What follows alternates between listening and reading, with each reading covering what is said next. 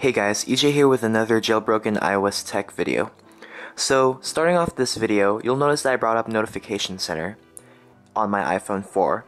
I just want you guys to see that on an iPhone 4, the Notification Center is not blurred, and also when you go out of Notification Center, the background doesn't have the parallax effect like on an iPhone 5 or something.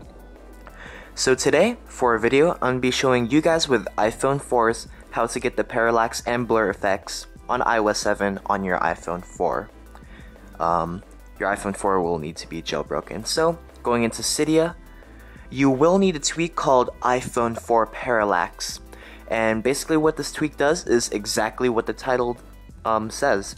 Grant your iPhone 4 on iOS 7 the ability to get the parallax effect when you move your phone. Um, on the home screen and also your notification center and your control center multitasking all that.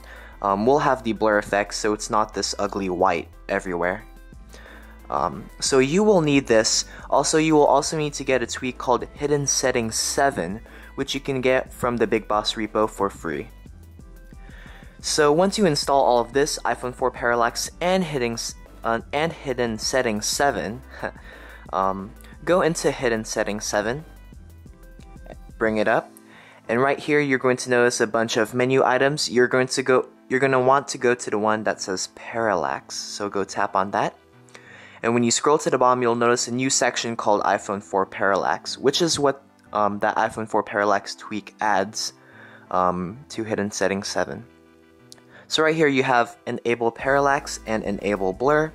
So what you are going to want to do is just enable all of those and immediately you're going to see that when I do done and I go into my notification center. Oops sorry not camera not camera. Okay when I go into my notification center it is blurry and it has that little that nice effect that the background is blurry. Um, I don't know if you can notice in the video, but when you enable blurs, um, bl you'll notice the blurs um, almost immediately. When I go into my multitasking switcher, you'll see that it's not all white anymore um, it's tinted um, and blurred to be the background's color. So this is really nice. Now the one thing that you do need to do in order to get the parallax effect is respring your device.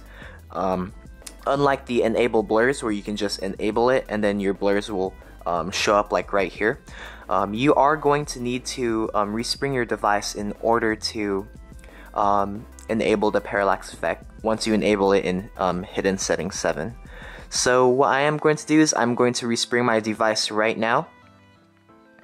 So we will just wait for this. Alright guys. So my iPhone has rebooted. I'm gonna put in my passcode really quick. And if you can notice really closely, I have the parallax effect on my iPhone you'll see that the background is moving. Um, this is not something my iPhone 4 on iOS 7 had before.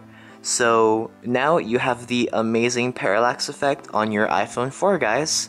Um, just looks amazing. Gives it that, with the parallax effect, just gives it that complete iOS 7 look.